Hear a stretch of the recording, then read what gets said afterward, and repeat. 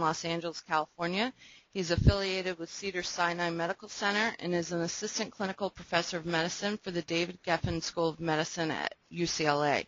Dr. Hallegua is also a member of SA's board of directors and previously served as our board chair for four years. Dr. Hallegua, I'm going to hand it over to you. Thank you, Melissa. As Melissa said, my name is Dr. David Hallegua. I uh, am a full-time rheumatologist and also a board member of the Spondylitis Association of America. Today we're going to talk about ankylosing spondylitis and the related diseases as well as uh, um, the medications that are used to treat these illnesses with special emphasis on their benefits as well as risks.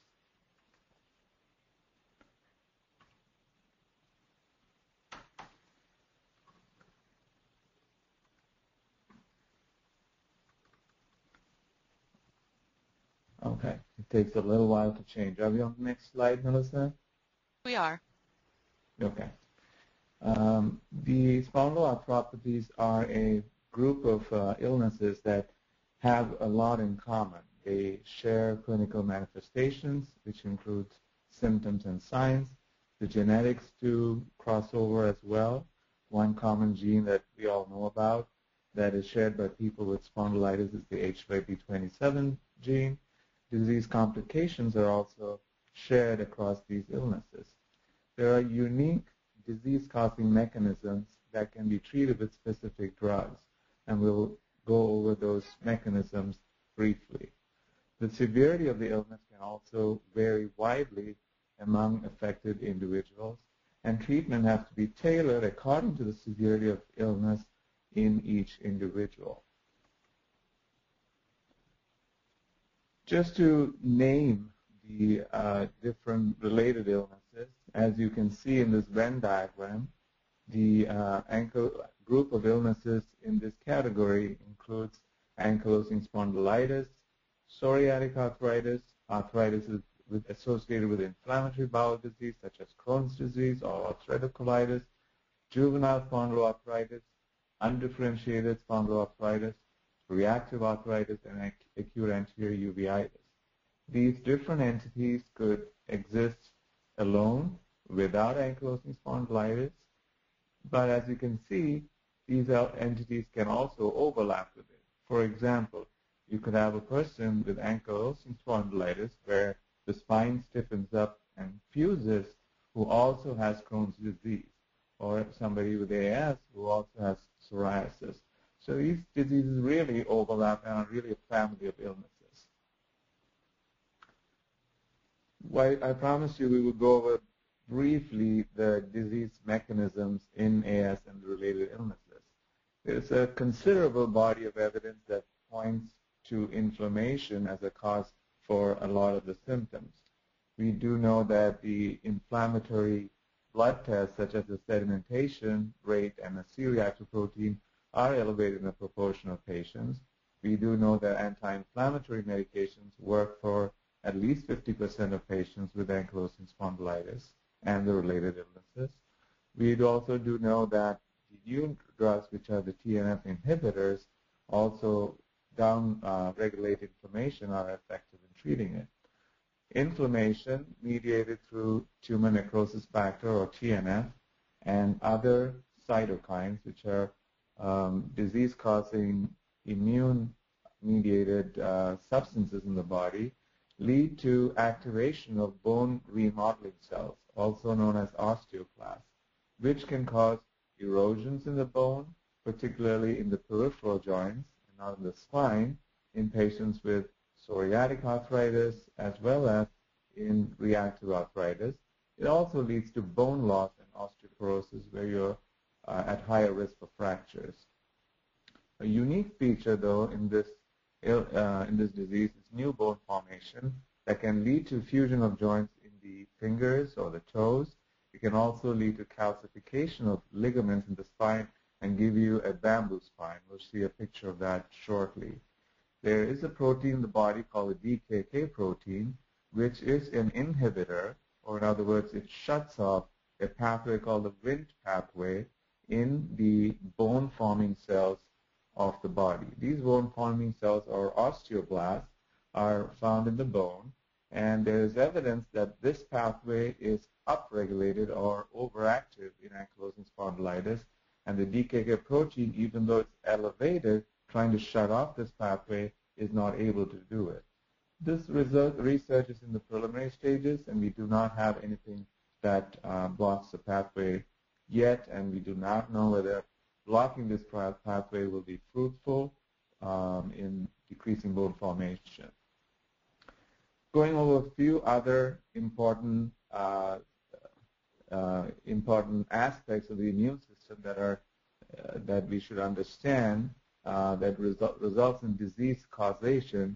When we look at the immune system, we have cells called T cells, which are an integral part of the cell-mediated immunity of the body. The other part of the uh, immune system is the antibody-producing cells or the B cells.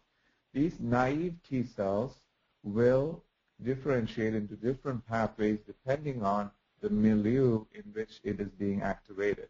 So if there's a self-antigen, which could be a cell uh, with surface antigens like a bowel cell or a cell in a joint perhaps, that is presented to a T cell in the presence of an inhibitory cytokine called TGF-beta, then the T cell differentiates into a regulatory cell called T regulatory cell expressing a, a unique gene product called FOXP3, and this results in protection against autoimmune illnesses.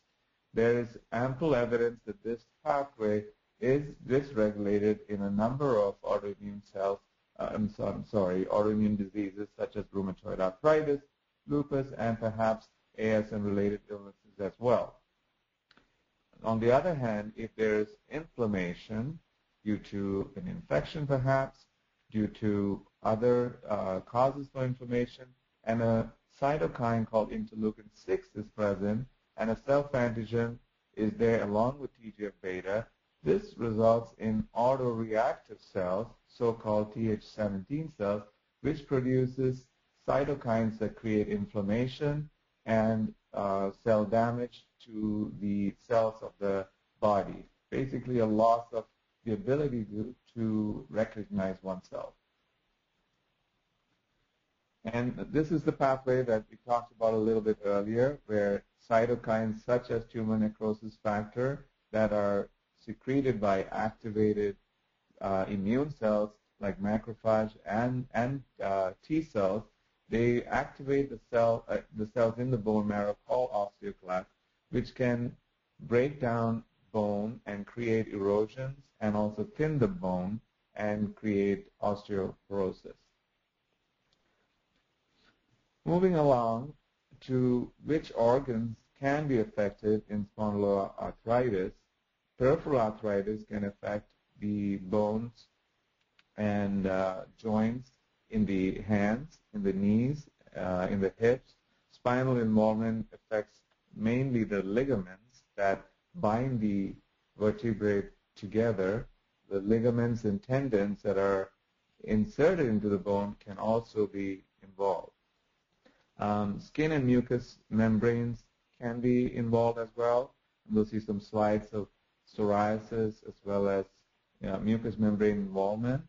Gastrointestinal involvement refers to the inflammation that occurs in inflammatory bowel disease, such as Crohn's disease and ulcerative colitis. In ankylosing spondylitis as well, up to 50% of patients can have an asymptomatic inflammation present in the bowel that can be found on a biopsy.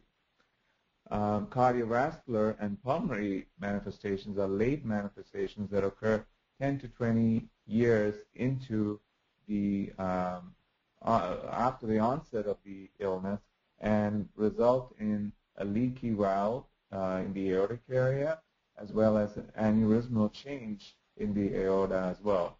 With respect to the lung, there is fibrosis that occurs in the apex of the lung the lung function in terms of expanding and contracting can also be inhibited in ankylosing spondylitis due to the restrictive effects of this illness on the rib cage. In order to understand how different drugs uh, work and how we can determine that they work, we need to have a basic understanding of the assessment tools that have been developed in ankylosing spondylitis. The first on that list is the BASDAI. The BASDAI is uh, an acronym for the Bath Ankylosing Spondylitis Disease Activity Index, and it is a questionnaire formed of six questions. Four questions ask a patient to uh, quantify their fatigue, their pain in their neck, back and hip, pain in, in other joints, and uh, tenderness to touch or pressure. And the last two questions ask questions about stiffness, particularly morning stiffness, with respect to the duration and severity, and you get a composite score of this. The BASMI refers to a questionnaire and uh, measurement tools that are used to see if, if the movement uh, improves with treatment. The ASAS 20, 40, 50, and 70, called the assessment MEAS, is a composite or a group of measures that are put together to see if a person improves by 20%, 40%, or 50%. And the, the domains looked at are patient global assessment of their disease, back pain, inflammation, and function. ASAS 5 uh, over 6 adds spinal mobility and C-reactive protein, which is a mark, uh, measure of inflammation to it. And you have to improve in five out of six of these measurements to say that the person has, um, has uh, reached that endpoint. The ASAS 40 improvement is the recommended criteria for evaluating disease-modifying agents. So what are the axial signs and symptoms that we look for with medications that treat AS? Well, we look at uh, pain in the spine, we look at mobility in the spine, and here's a patient that has restricted mobility due to AS affecting the spine. And when we look at x-rays to see if x-rays have improved with uh, a treatment in AS, we look at preventing these changes, which is uh, a, an x-ray here that shows the bamboo spine changes, basically vertebra that have ligaments that run across them that have become calcified or have had bone formation in that area. So you can see that it becomes a continuous uh, calcified ligament going all the way down the spine. And this is uh, referred to as a bamboo spine appearance. You can see on this side a more normal spine where there is space between the vertebrae, which is normal. But this, uh, these vertebrae have become square in shape due to inflammation at the corners of the vertebra that makes it lose its characteristic biconcave shape. This is another manifestation due to inflammation of ligaments, ligaments that attach to the joints in a toe or a finger can get swollen, giving a sausage digit appearance, also known as dactylitis. And tendon inflammation sites can uh, be inflamed. This is a, a, slide that shows an Achilles tendon that is attached to the heel of this patient that has become inflamed and swollen. And uh, uh we'll talk about agents that can be used to treat this condition as well. When you look at a, a treatment guideline for spondyloarthritis, a person can present with axial or spine disease alone, they can present with peripheral arthritis in the fingers or the hip or the knee alone. They can present with one of these with psoriasis. Um, or alternatively, they can present with colitis or uveitis, which is inflammation of the eye. You can see various combinations, and depending on the combination, you should tailor the treatment um, to uh, improve uh, all the manifestations of the illness. So the initial treatment is considered to be uh, to compose of NSAIDs and uh, disease-modifying drugs, particularly the synovitis or joint damage. If you have a good response to these treatments, then you uh, monitor them. If you do not have a good response, then you move on to the next category of drugs used, which are disease-modifying drugs, and they are sulfasalazine, leflunomide, methotrexate, and cyclosporin. If you have a good response there, you monitor again. It should be noted that these drugs that are listed here have efficacy only in peripheral spondyloarthritis and do not treat axial disease at all, whereas NSAIDs can help in both axial disease as well as peripheral spondyloarthritis. However, some considerations that should be taken into account with NSAIDs is that if you have colitis present, where you have inflammation of the uh, bowel resulting in diarrhea and abdominal pain, NSAIDs are contraindicated. If you fail these DMARDs and you have active disease, uh, suggestive of three uh, tender jo joints and three swollen joints, one should consider treatment with tumor necrosis blocking Where'd you drugs. find that? We'll talk about those. If you have a good response with that, then you monitor. If you fail a TNF blocker, you can switch to another one. NSAIDs are the cornerstone of uh, yeah, treatment for um, Maybe? spondyloarthritis. Uh, there are many NSAIDs that have FDA approval for ankylosing spondylitis. The uh, Yeah. NSAIDs include diclofenac, ibuprofen, naproxen, indomethacin, enteric-coated aspirin, and Sulindac. They are effective in reducing pain and uh, stiffness adequately, which is uh, at least 50%, in about half of the AS patients treated. But they are limited by uh, stomach toxicity and uh, lack of loss of efficacy over time. So this is a fairly long-term trial of almost a year um, in a patient with AS. And as you can see, placebo treatment patients drop off very early in, in, in, in uh, when you treat AS patients because of uh, no efficacy. But the NSAIDs also um, drop off over time, and you can see a 20 to 25 percent of patients over a year have dropped out because of loss of efficacy and sometimes toxicity. Piroxicam is Feldene, meloxicam is Mobic. Both uh, agents Well, have been next. approved for AS. I do hear a little disturbance. Dr. there's anybody Hallegua, to- can you just Yes. pause for a minute? I'm not sure why we're getting we're able to hear somebody else right now because everybody is muted. Um, Okay. I shall pause. uh, we're going to try to resolve this because according to all of my indications, everybody's muted. It's an automatic thing. So um, we're going to try to get on the phone and try to clear it up. But um, go ahead and continue on, and then we'll Okay. work it out. One question that has often been asked is, do NSAIDs modify disease progression? Meaning, does it reduce inflammation enough where bone fusion, which is what we often are trying to prevent in, in uh, patients with ankylosing spondylitis, uh, does that occur? So this was the trial done in France in over 200 patients with ankylosing spondylitis. They were divided into two groups, and one group was given Celebrex or Celecoxib, 200 milligrams twice a day continuously, and another group was given Celebrex and was told to take it, take it whenever you need it, but you don't have to take it regularly. And they looked at the X-ray changes basically for fusion that I showed you earlier. And there's a, a spine score that's available called the Stokes ankylosing spondylitis spine score, which was used to assess for bone fusion.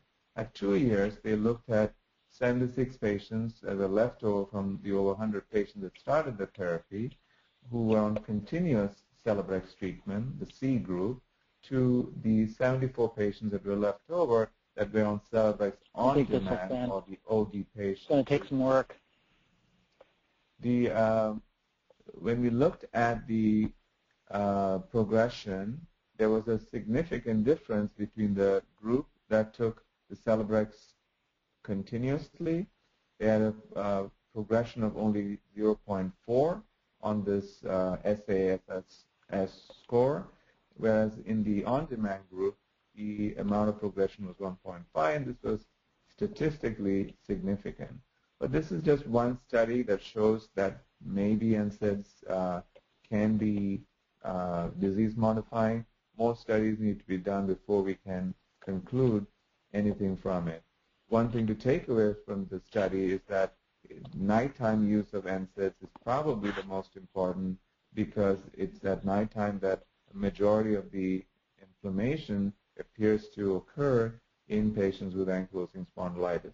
That doesn't mean that inflammation does not occur during the day, but they think that the authors of the study believe that it was the nighttime dose that gave the I'll difference. Go, I'll go now. I'll go now. So these are the GI side effects that are associated with conventional NSAIDs or the non-selective NSAIDs like naproxen, ibuprofen, indomethacin, phenylbutazone, and yeah, there is no study comparing these NSAIDs to show that one is superior to the other, but they produce GI intolerance in up to 25% of patients who take it, and this can be dyspepsia, nausea, or abdominal pain.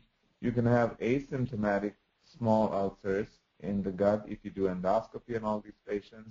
You can have symptomatic ulcers that either give pain or bleeding, and also complications such as bleeding, perforation, as well as blockage of the uh, outlet of the stomach through which food passes through can occur due to scarring of these ulcers that occur. If you look at mortality from these anti-inflammatory medicines that are not selective, which means you're excluding Celebrex from the group, up to 16,000 patients annually die from complications, which is the bleeding and perforation. The NSAIDs are a significant contributor to the cause of death in these 16,000 patients. And you can see it is much more common than some other illnesses that we think are very serious, such as cervical cancer or Hodgkin's disease. So what are some strategies that we can use to prevent NSAID-induced GI injury? Well, you can use a COX-2 specific in, inhibitor, and that, that is the group that Celebrex and the previously available medication called Vioxx. Uh, we can do use the lowest effective dose of an NSAID. We can use some additional therapy, and basically that is uh, adding misoprostol. And misoprostol is a is an agent that coats the stomach and prevents NSAID-induced injury to the stomach. You can use things like a proton pump inhibitor, inhibitor such as Prilosec or Prevacid, or uh, an H2 receptor antagonist such as Zantac or Tagamet, along with the conventional NSAID like ibuprofen and naproxen, and get some protection. You also want to avoid using blood thinners such as aspirin or Coumadin because you would be more likely to have bleeding if you use that with the NSAID and you do not want to take prednisone with the NSAID because that also increases the risk of ulceration. When you look at the cumulative um, um, ulcer uh, presentation with using NSAIDs such as um, such as ibuprofen and compare it with rofecoxib, which is Vioxx, no longer on the market, if you do endoscopies on all these patients who are either on placebo or one of these NSAIDs, you will see that the ibuprofen patients in the gray, gray have a much higher incidence of asymptomatic ulcers. Uh, up to half the patients have it at 24 weeks compared to a very low incidence of these asymptomatic ulcers in a COX-2 selective agent such as rofecoxib. When you look at ulcer complications, when we compare conventional NSAIDs such as ibuprofen and naproxen to celecoxib or Celebrex used in very high doses, complications of ulcers are also much less. And these are um, symptomatic ulcers that we're talking about that either bleed, have a lot of pain, or cause a gastric outlet um, obstruction, or have a perforation or a hole develop in the stomach. But you know, there's always uh, some side effect that we have to worry about. Whenever a drug is very good, we have to always look carefully to see if there's anything bad that can hap happen. The COX-2 inhibitors were studied to see if there were cardiovascular side effects because there was a concern that they might block um, a substance that is in the blood vessel wall that prevents platelets or cells that promote clot formation in the body from sticking together. So taking away that protective substance called prostacyclin, the investigators were worried that that would predispose to clot formation and uh, heart attacks or stroke. So in this study where Celebrex was compared with traditional NSAIDs, they did not find an increased incidence of myocardial infarction or heart attacks or CVAs or strokes in the celecoxib group. Um, and they compared patients who were on aspirin and they compared patients who did not take aspirin. They did not see a, a significant change. On the other hand, in this trial called the VIGOR trial, where rofecoxib or Vioxx was compared with naproxen, there was a statistically significant increased risk of heart attacks in patients with rofecoxib. The signal was ignored till subsequent studies duplicated the increased risk of heart attacks and strokes. And this led to some uh, investigation to find out what the reason was that these uh, drugs uh, caused the side effect. Was it indeed the inhibition of the the uh, substance in the blood vessel wall, or was it something else? So if you look at conventional NSAIDs like naproxen and ibuprofen and piroxicam and et cetera, when we look at whether these drugs cause hypertension, we see that the blood pressure elevates in, by about 46 millimeters in patients who are treated with these conventional NSAIDs. People who have normal blood pressure are not influenced a lot. The greatest effects appear to be seen with people who have high blood pressure and who are treated with uh, ACE inhibitors or um, a group of blood pressure medicines uh, comprised of lisinopril, benazepril, you know, there are a number of ACE inhibitors available, or beta blockers or vasodilators when they're used to treat high blood pressure. NSAID seems to block their effect. And this increase in blood pressure, even though it seems very small, epidemiological studies have shown that even minimal increases in blood pressure of 3 to 5 millimeters can sometimes be enough to trigger off a cardiovascular adverse event. This is a six-week trial in high, patients with high blood pressure comparing celecoxib or Celebrex with Vioxx, and it shows that patients with Vioxx have a higher incidence of edema or swelling of the leg. This may be because Vioxx has a longer half-life, meaning it lasts in the body for a longer period of time, and this leads to a Vioxx dose given on one day overlapping with the effect of the Vioxx dose on the next day. So a kind of a continuous effect on the kidney retaining salt and water resulting in swelling.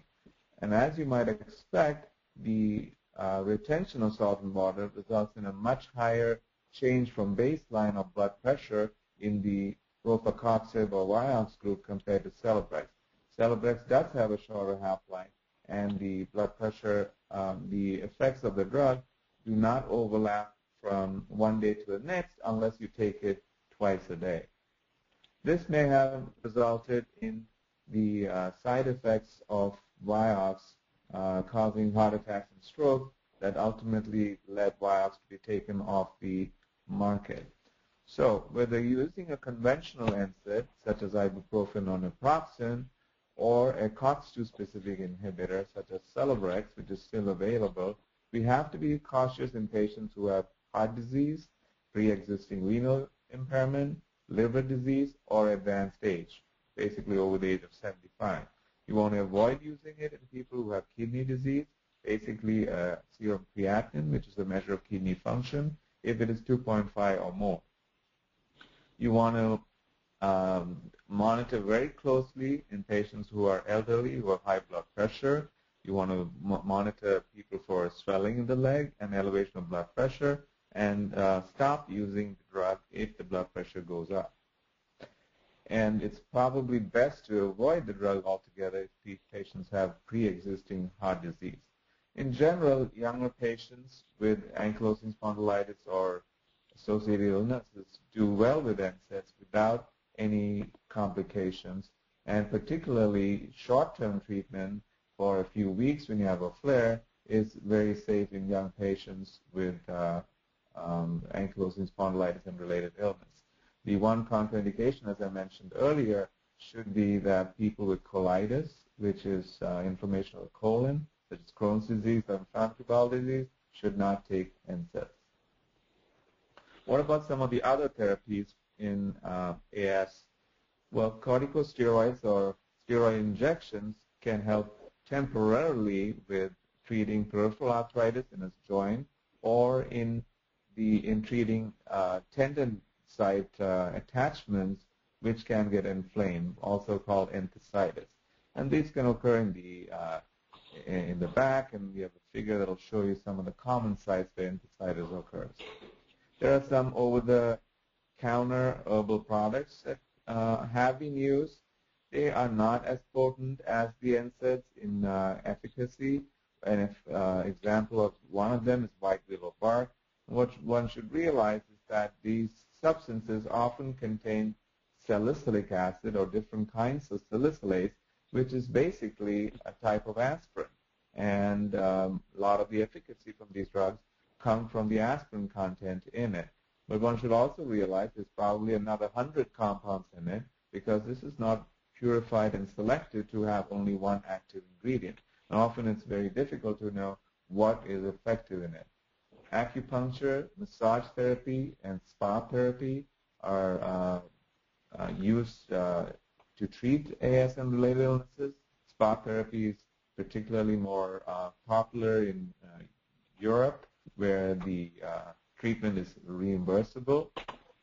Physical therapy, Tai Chi, and stretching exercises should be practiced by all patients, whether they are on um, a TNF inhibitor or other kind of therapy, it's very important to uh, keep your posture upright so that even if you were to fuse, you would fuse in an upright position rather than a bent over position, which is what we want to avoid.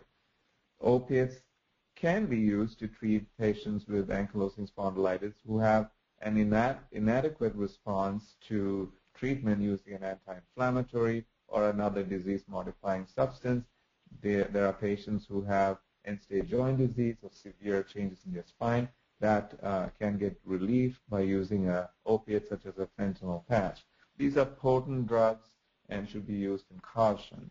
Um, there is some concern about rebound that can occur, particularly after using steroids in, uh, to treat these conditions.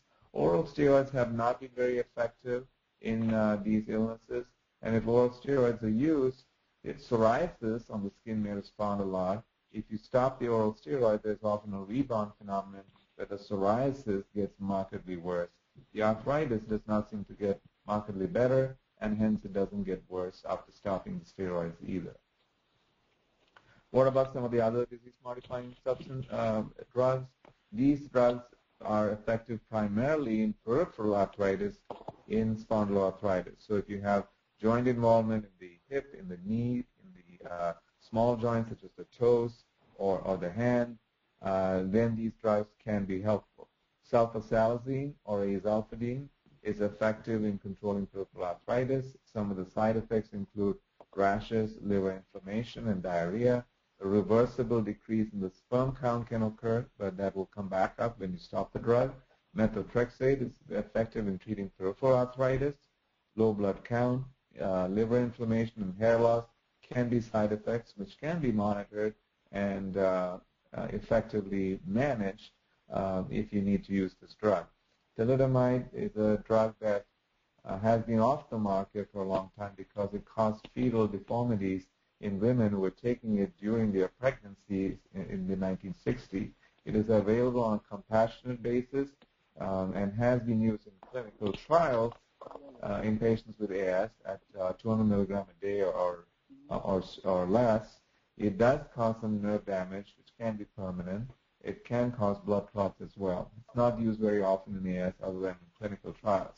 Leflunomide or Arava, a drug that has not been approved in ankylosing spondylitis, approved for rheumatoid arthritis, has shown some preliminary evidence of efficacy in peripheral arthritis.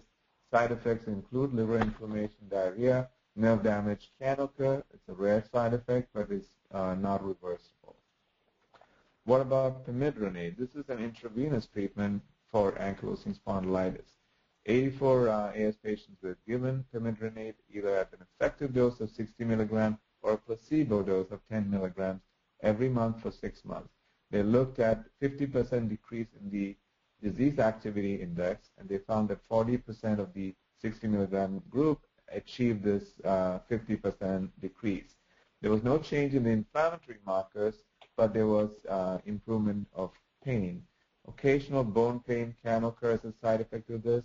When they did MRIs of the lumbar spine before and after, it showed a decrease in the edema. It is not an approved medication for AS, but it may be effective uh, when other treatments fail. What about the tumor necrosis factor antagonists? Uh, there are four agents that are approved for ankylosing spondylitis, and uh, I will mention their names and go over unique characteristics as we go through these slides. Adalimumab or Humira is one of them. Etanercept or Enbrel is the other one. Infliximab or Remicade is the third one. We'll talk about the fourth one that's approved in a little bit. This slide uh, looks at psoriatic arthritis and how effective tumor necrosis factor blocking drugs are in psoriatic arthritis, both on the joints, measured by these ACR 20, 50, and 70 um, uh, outcome measures, which look at joint count reductions similar to the ASAS-20. These, uh, these uh, outcome measures are used for peripheral arthritis. The ASAS-20, 40, and 70 are used for the spine improvement that occurs with spondylitis. PASI refers to the skin. Uh, it's a psoriasis improvement index. And as you can see, the infliximab and adalimumab, which are monoclonal antibodies, or antibodies that are made to block tumor necrosis factor perform.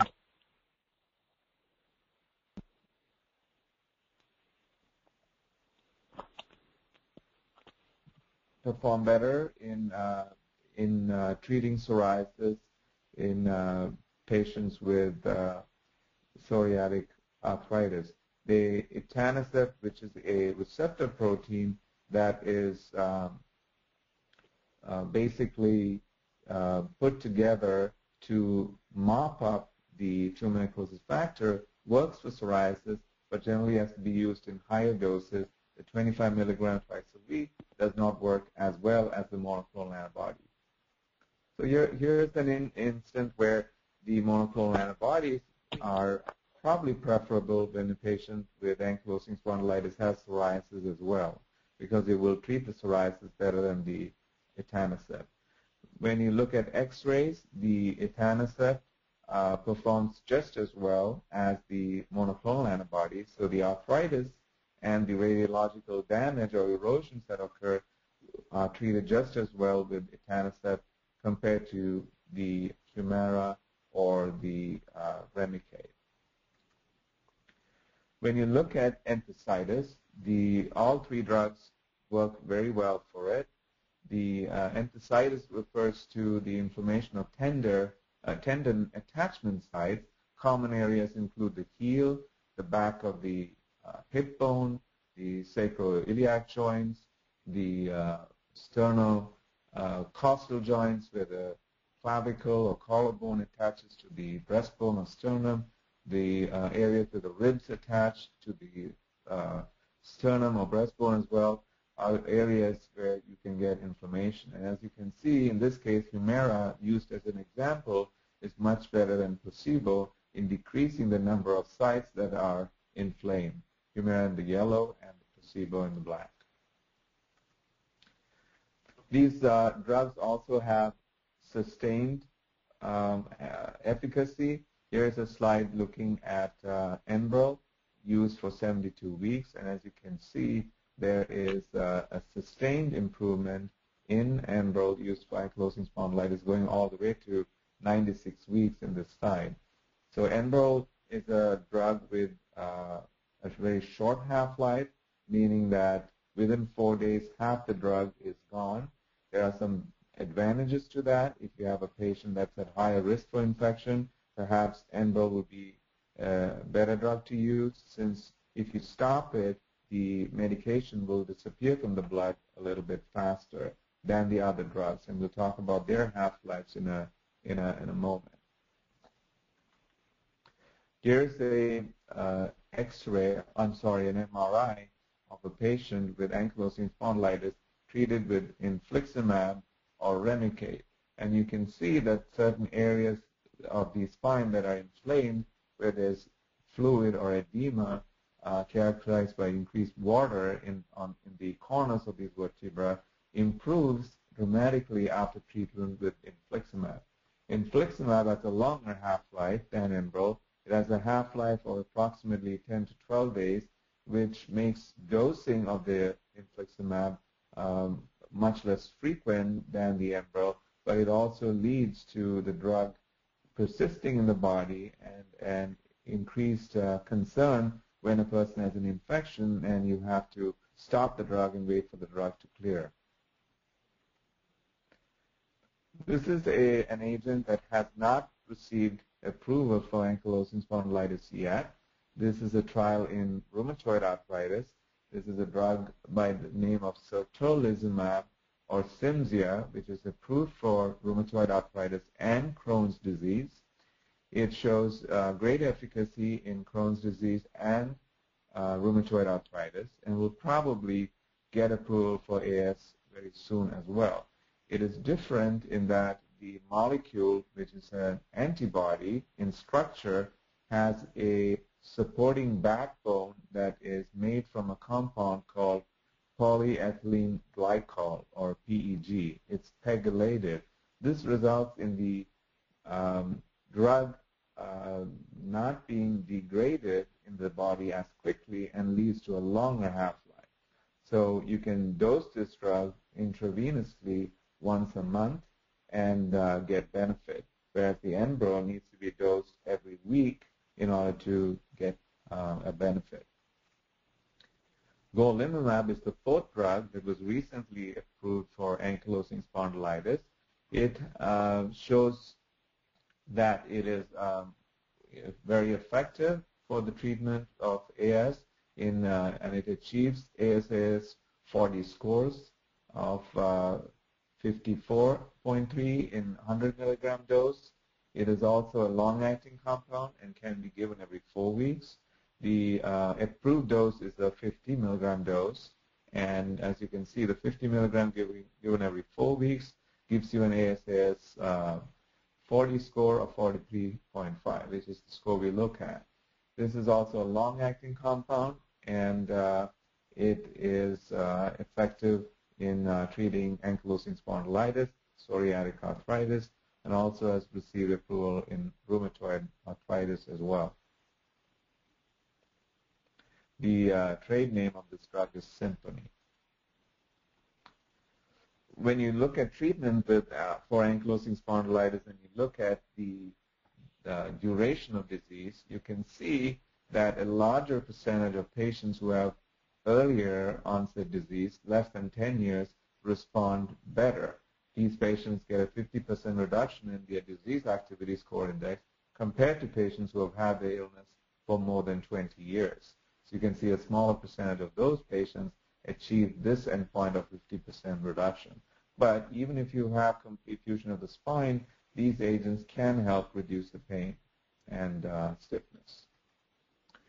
You can switch from one drug to another and get efficacy, but here a study showing adalimumab or Humira um, being added onto AS patients after patients had failed treatment with either Enbrel or infliximab.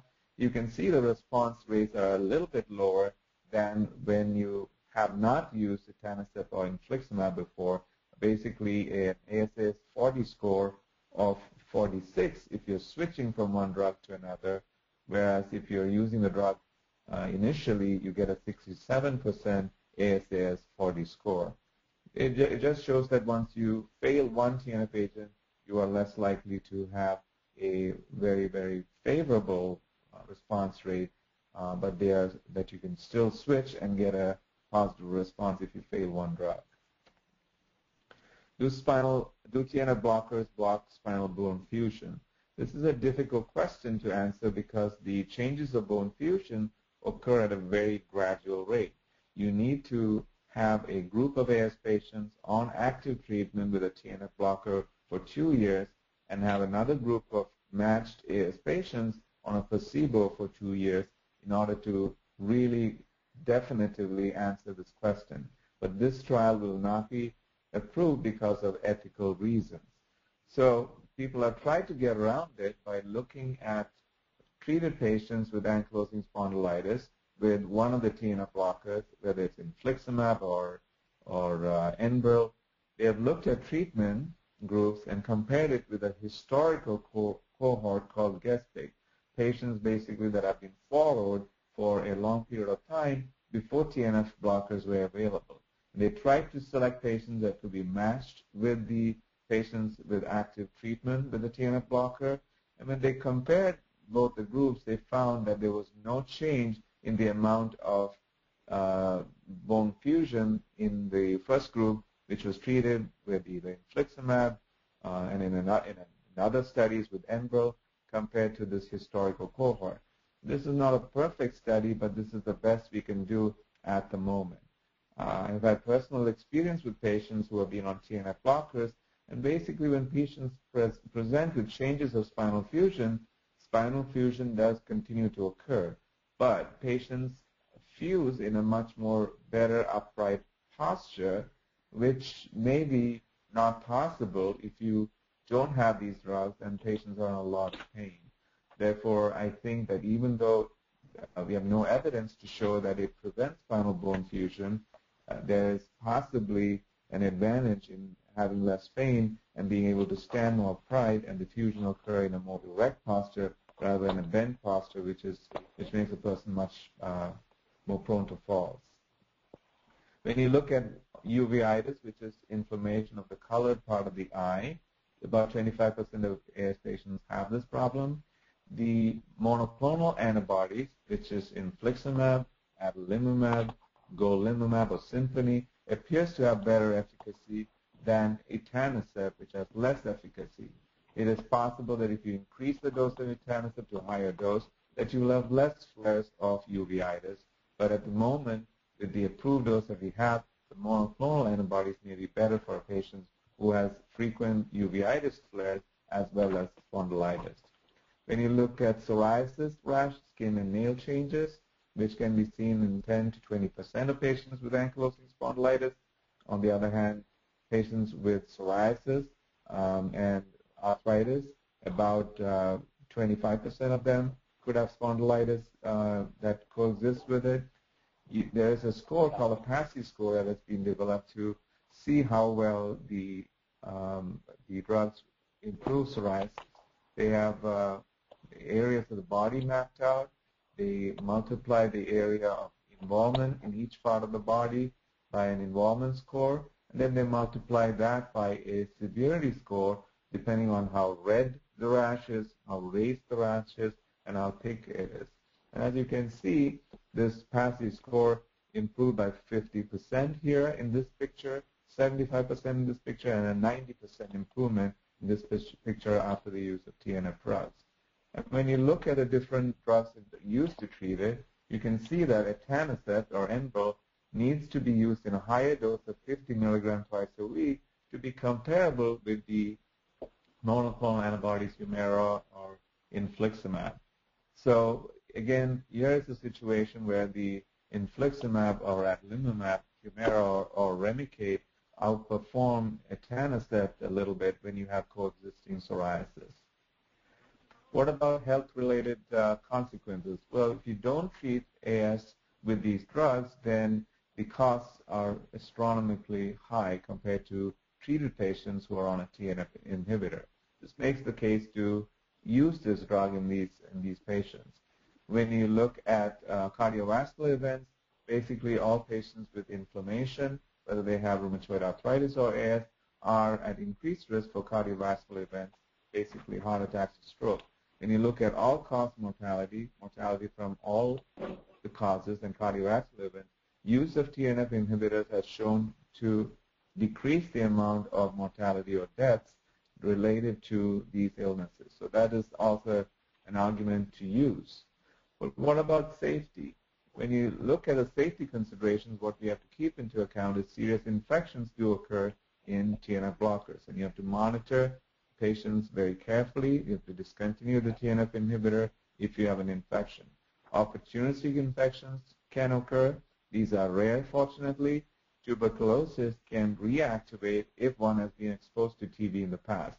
So it's very important for patients who are going to start a tumor necrosis factor blocker to have a tuberculin skin test prior to uh, the use of this uh, drug. Some people argue that the skin test should be repeated on a yearly basis. With respect to cancer, there's always been a lot of scrutiny. Um, patients with rheumatoid arthritis and AS patients are at increased risk of lymphoma because these are inflammatory illnesses.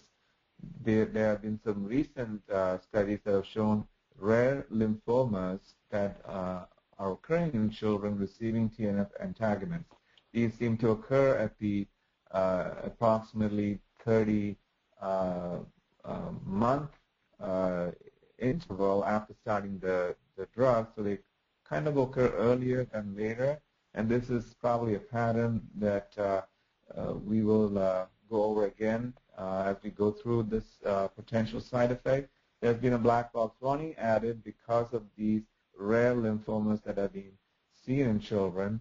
In adults, we have not seen the increase as much. Other safety considerations with uh, respect to Remicade, which has a mouse protein in it, repeated infusions of uh, Remicade can result in infusion reactions, which are not fatal, but are very uncomfortable with shortness of breath and uh, uh sometimes rashes that occur. Live vaccines are contraindicated when you're on a TNF inhibitor. If you need to use a vaccine, such as a shingles vaccine or you have a yellow fever vaccine, you need to be off these drugs for at least eight weeks before you use the drug so that the immune system is not suppressed. Otherwise, you can get an active illness, whether it's with the measles, mumps, rubella, chickenpox vaccine, or a flu vaccine that has a live virus in it, which is the vaccine given intranasally into the nose. Demyelinating illnesses are contraindications to TNF blockers. So if somebody has demyelination on MRI of the brain or has had a seizure before or has had Guillain-Barré before, it, uh, these agents should not be used. There have been rare instances of demyelinating illnesses occurring, but uh, largely we don't think this is a problem in patients who do not have a pre- pre-existing uh, problem with these illnesses. Rarely blood counts can go down. This has not been a frequent problem. People who have advanced heart failure should not be using this drug um, infliximab or Remicade is contraindicated in advanced CHF. You can get a lupus-like syndrome, basically a condition where you get arthritis and, and uh, rashes, and also new onset psoriasis, paradoxically, can occur in patients who have taken TNF inhibitors for a long time.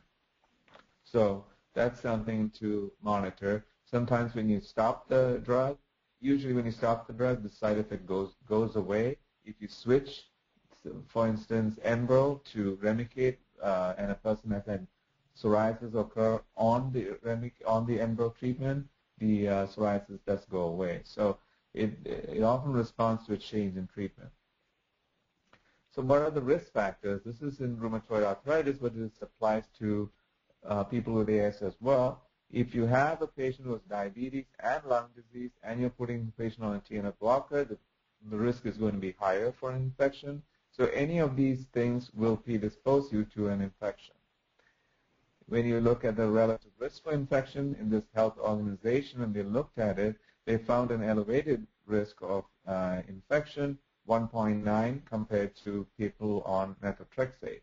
So in, in other words, if you treated 143 patients with a tumor necrosis factor blocker, one person would get an infection. Uh, uh, in a third of patients, it was pneumonia.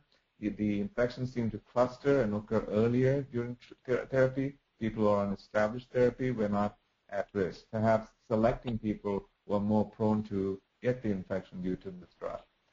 When you look at the risk of hospitalization, if uh, in the Swedish database they found that there was an increase of 30% in hospitalizations in patients receiving TNF blockers, there was no increase in mortality. The risk for hospitalization decreased with the duration of treatment. So longer people were on it, less patients were hospitalized.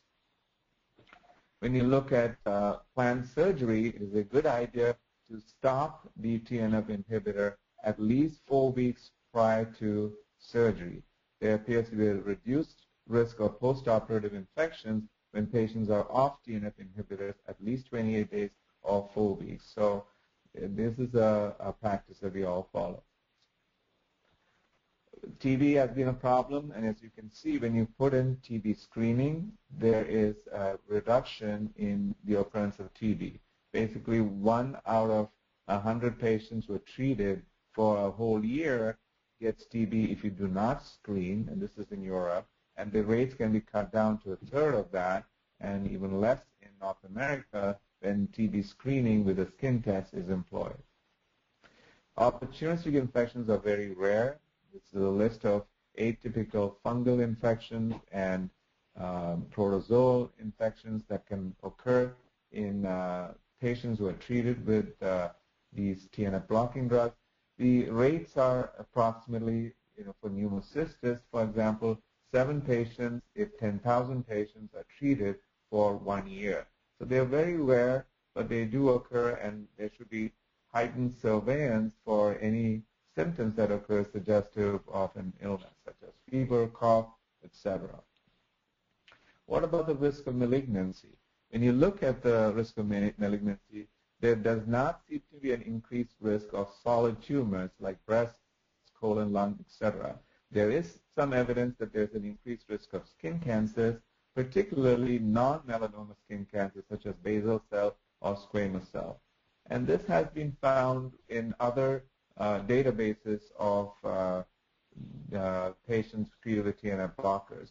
Non-melanoma skin cancer appears to be increased, but as you follow these patients over time, the number of cancers appears to go down, even in the skin cancer group. You can see an elevation in patients who are treated for less than a year, but again, as you follow them uh, over three years, it, it appears to decrease. So the thinking is that these agents do not cause malignancies, but it may block one of the defense mechanisms that the body has to, to keep these malignancies from appearing. So there are malignancies that are destined to appear maybe a year later or three years later or five years later, and the TNF inhibitors may unmask them. So an increased surveillance for any kind of skin problem should be maintained in the first year or two years after starting these therapies. Um, there have been trials of TNF inhibitors in other patients, high-risk patients who were smokers who had emphysema or chronic obstructive lung disease were treated with infliximab, and we saw the same pattern. Nine patients treated with infliximab had malignancies in the first year of treatment. When we treated another condition, uh, basically a condition with vasculitis called Wegener's, when they were given Enbrel, we saw that the patients treated with Enbrel had an increased risk of uh, solid tumors that occurred within the first year of treatment that was not seen. So basically, unmasking of malignancies seemed to occur early on when you treat it. The rates are not very high, but they do seem to occur. And as I mentioned earlier, lymphoma and leukemia have rarely been seen in children. Um, we need to have uh, uh, more uh, analysis and follow-up of these individuals to see who might be at higher risk for um, these uh, problems. When you look at previous cancer and the risk of recurrent cancer when you use a TNF blocker, it appears that solid tumors like breast cancer, lung cancer, colon cancer, there's no increased risk of recurrence whether you use methotrexate or a TNF blocker. There is a risk of recurrent cancer that is elevated when you use a TNF blocker, um, with respect to leukemias and lymphomas. So patients who have lymphomas and leukemias should be monitored more closely, and uh, the risk versus benefit analysis needs to be employed before you put a patient who's had a prior lymphoma leukemia on a TNF antagonist. What is the future direction of spondyloarthritis research? Well, with respect to treatment with these agents, we need to improve our understanding of the risk of infectious and neoplastic risk. We need to have an increase in our therapeutic armamentarium to control the illness. We also need to uh, do more research into causes of fusion of the spine and the joint and have better agents that can prevent this from happening. Thank you for your attention. Thank you, Dr. Hallegua. Um, do you want to turn it back over to me now? In terms sure. of, okay. Um, so what we're going to do now is we're going to open up questions. So you should see um, the questions box pop up. We're still having a little bit of the problem with the interference. We can hear one person. We can't quite figure out why. So we've been on the phone with the um, company. So I apologize for that if that's distracting. Um, so uh, let's kick it off with some questions. Dr. Hallegua, for those of us no longer helped by the various TNF blockers or DMARDs like sulfasalazine and methotrexate, what other options are there for us? Um, well, it is a, a, tough uh, situation not to have some of the approved drugs not work for you. I covered some drugs that are available um, that are not approved for AS. One of them would be the intravenous pamidronate given monthly at a dose of 60 milligrams uh, intravenously. That has been shown to be effective. Thalidomide is an op another option that's available. There are certain other uh, treatments that are approved for rheumatoid arthritis that are available. One of them is abatacept or um, Orencia, which is in clinical trials for AS and should be promising. Uh, just recently, another agent has been approved for rheumatoid arthritis about two weeks ago, ago a drug called Actemra, uh, which is an interleukin-6 blocker, which uh, will be promising in ankylosing spondylitis as well. And you know, furthermore, it's important to understand that um, sometimes switching to a drug that you used earlier, which was effective earlier, but was no longer effective over a period of time, may give you a uh, some response and improvement while you're you know waiting for your doctor to get one of the other drugs that I just mentioned uh, approved for your condition. Okay. Is there a danger to taking Humira or one of the other TNFs if it's gone bad? Um, this person is apparently a traveler and is um, she thinks they're okay with the ice packs and whatnot, but um, she's just sometimes she's taken it, and so she's should she be concerned? Um, I, I think there should be more concern about it not being efficacious than you know something really really bad happen. But I have had patients who have left their um, drugs that have been delivered by by mail um, on the doorstep for you know more than 12 hours or 18 hours, and then they have used it, and I've had a few patients who have had side effects, including skin reactions, and uh, one patient had uh, some vomiting with it as well. So, you know, again, one should not use it if it is being left out for a considerable amount of time, more than three or four hours um, at room temperature. But, you know, I would be more concerned about loss of efficacy than any serious side effect. Okay. What meds, uh, medications do you suggest for sleeping problems due to pain? Well, I, I think, you know, the best uh, treatment would be to direct an agent or use an agent that uh, reduces the pain. So if you have not tried an NSAID, um, then try the NSAID to reduce the pain night so you can sleep. If you cannot tolerate it or it's not effective, then use another agent, whether it's a TNF inhibitor or otherwise. if you use only a sleep medication and you have pain, chances are that you will need, you know, very high dose of a sleep medicine to help you to sleep if it's inflammation that is causing you to not sleep, and uh, then a sleep agent would not be very effective. Okay. Um, my husband read something about a new drug from sea urchins. Is there? Do you want to speak to that? Another, um, you know, I've heard the sea urchin claim before. I don't know enough about this claim, so I will have to leave that question um, to somebody else who has more knowledge about it. Okay. Um, why is there such a debate over whether methotrexate should be taken for AS either alone or along with a TNF blocker?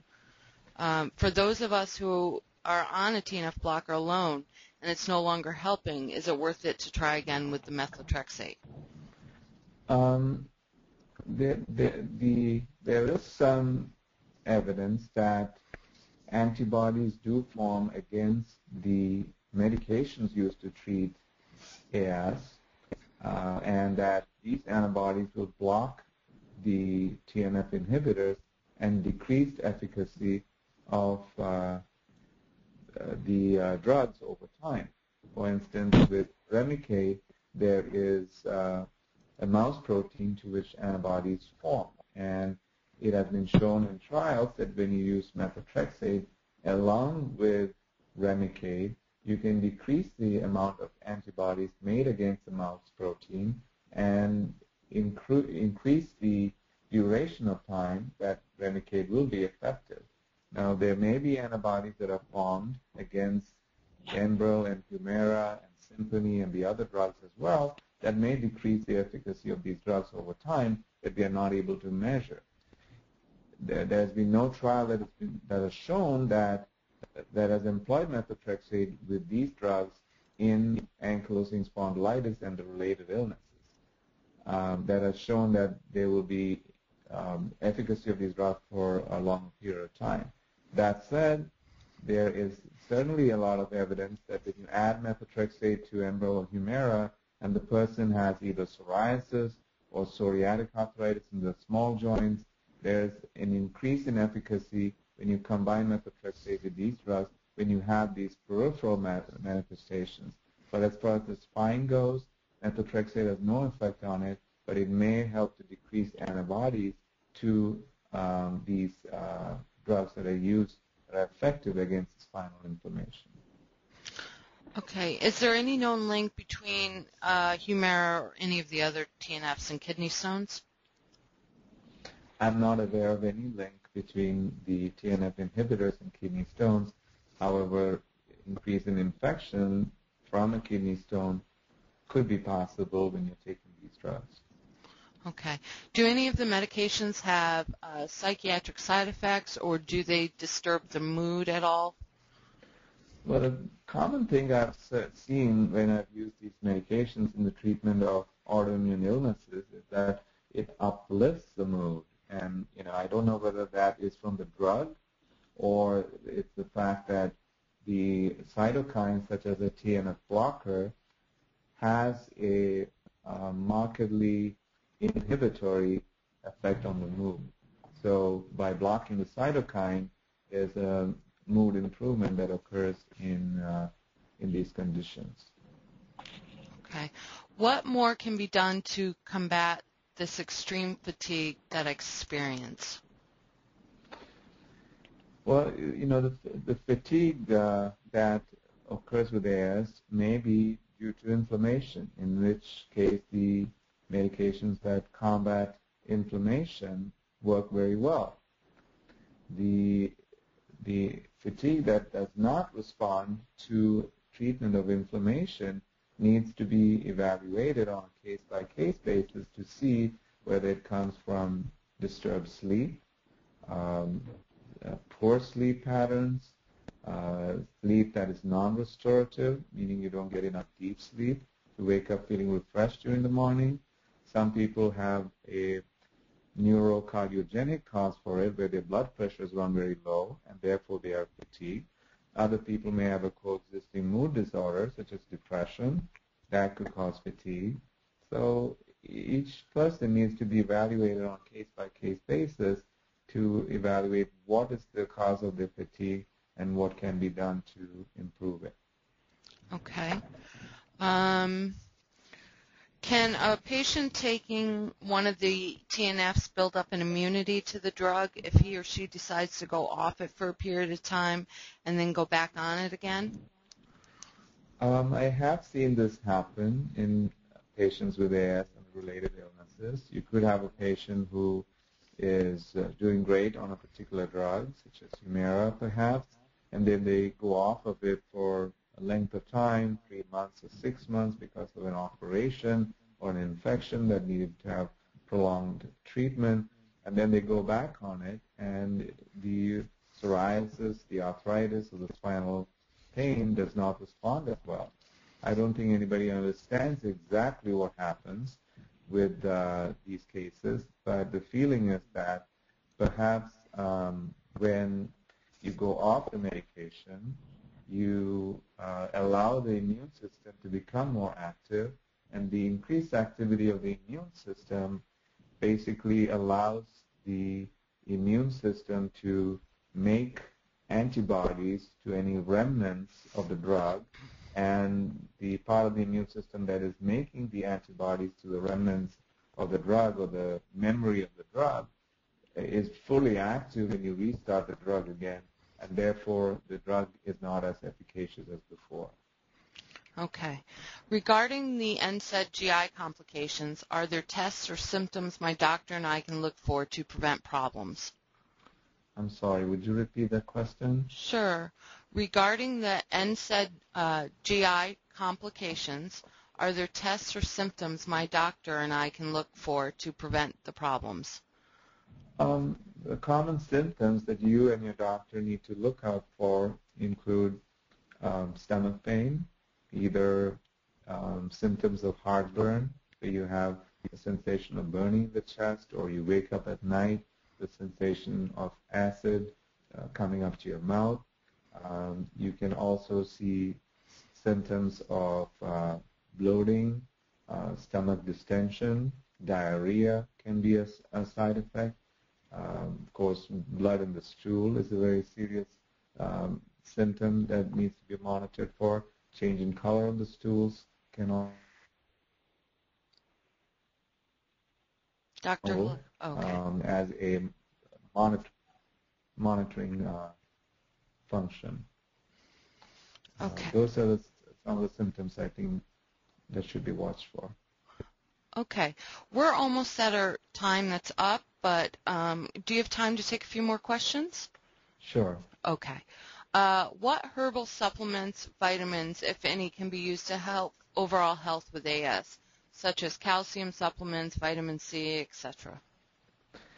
Um, the uh, osteoporosis that occurs due to bone loss is something that can be um, improved by taking calcium and vitamin D. If you do have osteoporosis, then uh, calcium supplementation in a dose of about 1500 milligrams a day in divided doses can be uh, helpful. Vitamin D uh, is generally used in a dose of uh, 800 units or higher, depending on blood levels, to prevent bone loss as well. In terms of other agents, I think taking a multivitamin every day has been shown in certain patient subgroups to help to prevent infections, as well as the other herbal therapies that are available to combat inflammation. I think that they are generally weak, but a person with mild uh, spondyloarthritis could consider using some of the agents that were mentioned which are clearly off-label and you know also can cause side effects and need to be monitored by a doctor. Okay. Are there variations in the effectiveness of TNF medications between different manufacturing batches? Sometimes it seems I get more response from the drug than I do at other times, and I'm wondering if this is due to differences between batches. Um, I would not be able to tell you that there's no difference between the batches. I believe that there's a very stringent uh, monitoring process going on by independent agencies, um, uh, including the FDA, where they study these drugs periodically to make sure that they are similar, you know, in terms of efficacy and that they are pure without any contamination. Um, the reason why the drugs don't seem to be effective at one time during the year compared to another may be due to the fact that the illness is more active during one time of the year than the other, and that the agents do not suppress the illness completely. Um, but you know, again, that is uh, speculation on my part. Okay. Can AS or A, or the AS treatments cause slight tremor, for example, in the hands, or small involuntary twitches? And if so, what can be done for this? Um, I think the tremor that or twitches that the person is referring to are myoclonic uh, jerks or also known as myoclonic seizures, even though this is not like a generalized seizure that you know people often think about. These are localized problems within the muscles that occur due to the development of what are called taut bands within the muscle. And these uh, taut bands can relax at certain times, particularly at nighttime when one is uh, relaxing or attempting to go to sleep, and you get this twitch or a jerk in a part of the body, whether it's the hand, the shoulder, or the back or a lower extremity. There are medications that inhibit the uh, motor nerves in the spinal cord, uh, benzodiazepines and other medications commonly used to treat seizure manifestations, often used off-label for these um, uh, manifestations that can be used. To my knowledge, they're not related uh, to the treatments for AS, whether they're TNF inhibitors or NSAID, and uh, they are uh, not uh, isolated to this group of illness either. So any connective tissue disease or other illness, um, people who are healthy also can get these uh, twitches. Okay. Is it safe to take other meds while on early treatment of TNF inhibitors if effective relief hasn't been achieved yet? Uh, it is safe to combine TNF inhibitors with uh, anti-inflammatory medications or one of the other drugs I mentioned, such as methotrexate or sulfasalazine, if they are giving you some efficacy. The only things that should not be combined would be one biologic combined with another. So one should not combine Humira and Enbrel together or the TNF inhibitor with another agent such as an interleukin receptor antagonist such as Kineret. The, the combinations of these biologics together gives you an unacceptable unacceptable risk for uh, infection that uh, is not worthwhile, you know, taking um, into uh, risk here. Okay. Do any of the drugs you discussed cause hormonal changes? I speak particularly of testosterone and thyroid.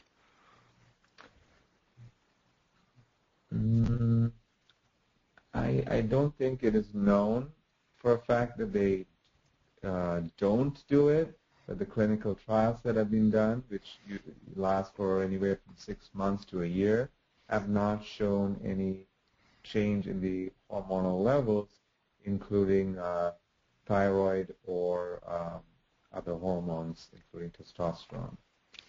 Okay. Is there any evidence that any of these drugs cause weight gain?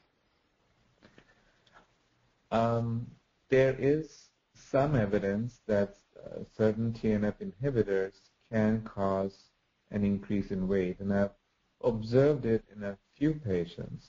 Um, TNF as a cytokine in the body leads to a lot of weight loss, including muscle wasting. So some of the weight gain may be a natural weight gain that occurs because you've taken away something that causes weight loss. But I have seen weight gain to the tune of you know, 10 to 20 pounds occur in some TNF inhibitors, which has uh, resolved after stopping it. The weight gain is not uh, like the weight gain that might occur with medications like prednisone.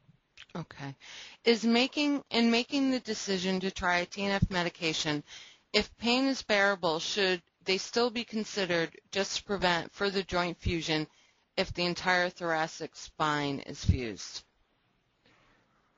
So the question is, should the medication be con- continued if there is total fusion of the spine?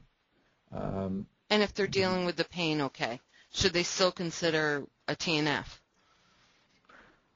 Um, well, that's a good question. I mean, the I think the answer to that is that the patient needs to um, quantify their symptoms. You know, whether it is their stiffness, whether there is some residual pain somewhere, or a skin rash or colitis. You know, if there are other manifestations that are not controlled with either lifestyle modification or another medication, then the TNF agent should be used. If you're using it in the hope that it might prevent something, uh, I think that you know in that situation the risk of a side effect on the medication outweighs the benefit.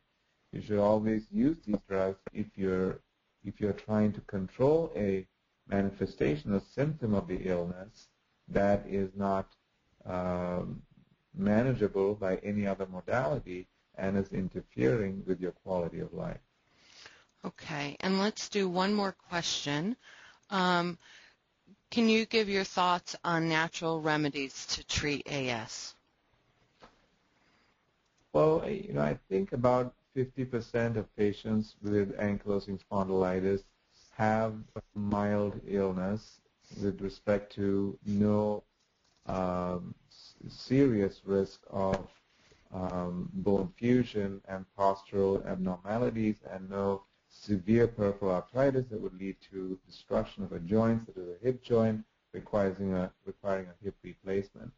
If we can identify these patients very reliably, I think it is up to that patient to decide what they want to use for treatment. They could experiment with a diet, you know, that's low in carbohydrates that some people tout as a an approach to control symptoms. They could take an over-the-counter agent that decreases inflammation, um, like Boswellia or um, some of the other agents I mentioned, like the yarrow root or something else. Whether they are effective or not, it's left to be seen, but they might provide enough benefit to um, treat the symptoms of the illness. And if you're not, you know, prone to serious manifestations, then that may be all that's required.